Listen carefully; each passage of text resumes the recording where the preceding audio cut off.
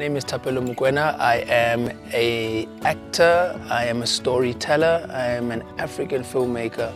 Um, I'm a producer, I'm your daddy, I'm his daddy, and this is my family. The one thing that makes me want to spend time with my kids is knowing that I'm responsible for them.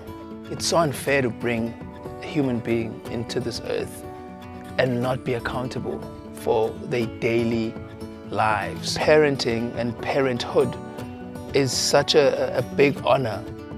First thing that has to cross my mind, my mind or that crosses my mind are my kids. Our job as parents is to invest good humans into the world. This is me. I pick them up from school. We either do the park. If we're not doing the park, we go play somewhere for an hour. By me being there and present, I can see that, that, that element in him and I can invest time and money on it to see what the outcome is. And that's what it is.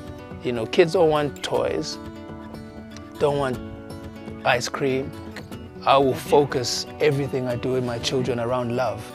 I think my childhood is absolutely 100% involved and responsible for the way I turned out.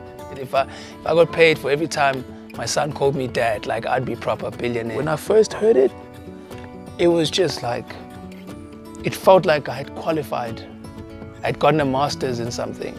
Call to action to parents, especially African fathers. Show up. When you're there, you see what needs to be done. When you're there, you feel. When you're there, you understand your role.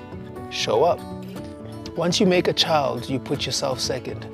And watch what happens when you show up for your kids.